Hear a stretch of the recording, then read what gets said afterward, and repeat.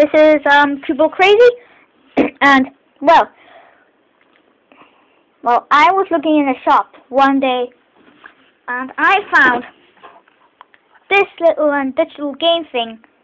Yeah, yeah. Exactly what you do is, um, you pull this, the thing out, the wee white thing, to mouse thing. So let's um, let's help take a wee look at it.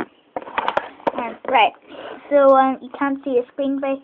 Right. Okay. Can you see a screen? Right. You you press that button there, and you use the, these two buttons to move left and right. So let's try that. Well, at the minute I think it's off. For a minute. Well, work.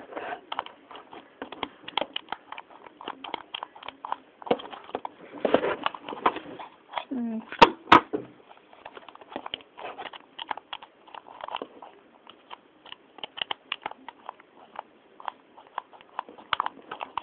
Hmm, how do you start this thing? Well, here we go. Oh.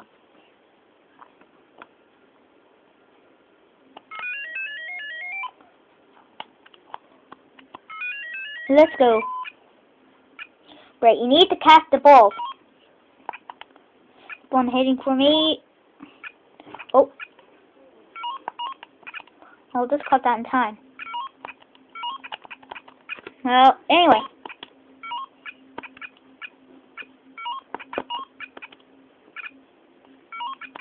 You catch a little ball. Well, this is fun. Uh.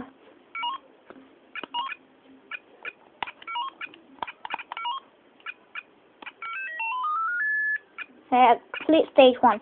As you can see, it gets faster.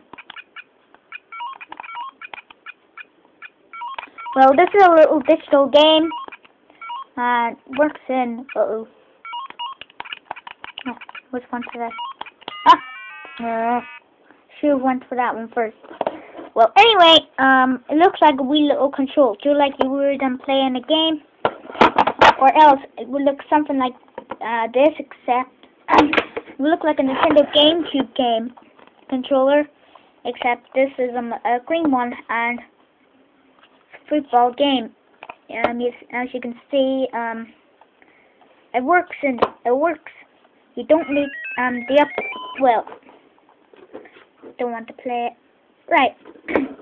well, anyway, so that's the review of this um digital um control thing. And well, that I guess that's the end. And and stay tuned for more. I might have more digital um, games or something else like that. Okay, so um, have a good day. Well, it's a very sunny day outside, as you can um, see. So, um, goodbye, and I'm off.